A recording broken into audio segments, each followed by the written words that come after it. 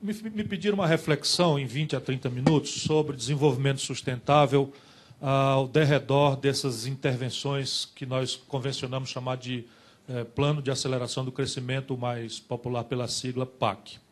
Eu peço vênia, peço permissão para uma breve introdução que lhes parecerá algo teórica, algo doutrinária, mas eu quero crer que no Brasil, nós, cada vez que tivermos gente especial reunidos, assim como vocês são especiais, de uma instituição como o SEBRAE, nós devemos retomar essa ideia jamais prosperou, jamais prosperou civilização alguma. Pouco importa a variedade institucional, pouco importa a babel de línguas, pouco importam as variedades históricas. Enfim, essencialmente pouco importa a variedade institucional que parece um país, uma instituição, mas jamais prosperou a civilização que por detrás destas, desse êxito civilizatório você não encontre, né, procurando por detrás dos disfarces, das retóricas, três premissas.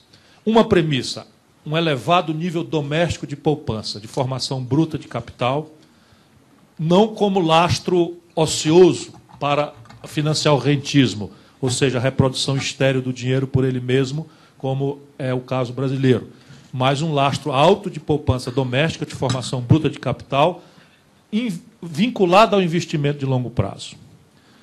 No mundo, que hoje assistimos se desenvolver e na história da humanidade, esse estoque de poupança lastreando investimentos sempre esteve superior a 30%. Chegando a casos mais modernos, como o caso coreano e o chinês, mais recentemente, a serem estoques de capital vinculados ao investimento superiores a 50% do PIB, respectivo. No Brasil, até o Lula tomar posse, nós estávamos com 13% de formação bruta de capital, isso com o Lula subiu para algo ao redor de 19. A crise de 2008 esterilizou uns 4 pontos dessa formação bruta de capital, descemos para 15. Agora, 2011, voltamos para 18, algo perto de 19. Provavelmente o ano que vem esteriliza novamente o nosso esforço. Portanto, e a taxa de formação bruta de capital, o estado de poupança de uma sociedade para financiar o seu desenvolvimento, não é consequência fatalista do acaso, como a perversão neoliberal que nos vendem como se fosse ciência, sendo ideologia de quinta categoria, quer afirmar. Ao contrário, o estoque de poupança de uma dada nação é consequência do desenho institucional que a política de cada nação faz ou deixa de fazer. Por isso, a satanização escandalosa da política compõe um quadro coerente com aqueles que advogam o Estado mínimo, a desregulação e o espontaneísmo individualista das forças de mercado.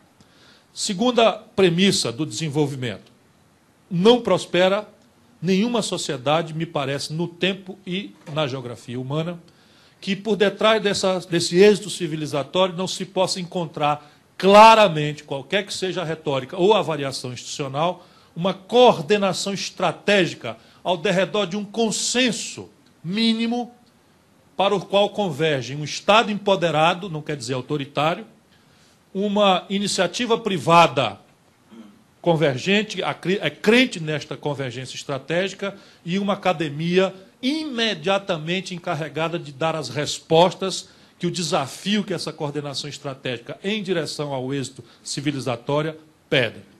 E o terceiro, a terceira premissa, para encerrar um pouco essa introdução algo teórica, é jamais prosperou ou prosperará a sociedade que por detrás do seu experimento de êxito civilizatório não se possa encontrar claramente, ou cronicamente, ou agudamente, um definitivo investimento em gente. Pode ser o caso crônico europeu, cujas primeiras universidades se fundaram no século XIII. Ou pode ser, pode ser o caso da Coreia do Sul, que 30 anos atrás tinha metade da participação do Brasil em comércio internacional e hoje tem o dobro do Brasil. O Brasil tinha naquela data 1,6% do comércio mundial, hoje está atolado em 1,8%, 1,9% do comércio mundial, ainda com um perfil centralmente em commodities, centralizado em commodities, enquanto a Coreia do Sul tem 4% do comércio mundial, registra mais patentes e publica mais trabalhos científicos pelo quádruplo do Brasil, tem três marcas globais de automóveis e mais de quatro marcas globais de eletroeletrônica, o Brasil não tem nenhuma. Esse caso coreano foi há 30 anos atrás. Houve uma ruptura, uma decisão de mudar o aparato educacional a ideia da ênfase da matemática na jornada diária como premissa das engenharias, como premissa da inovação, como premissa da tecnologia e daí do, do, do, do salto industrial.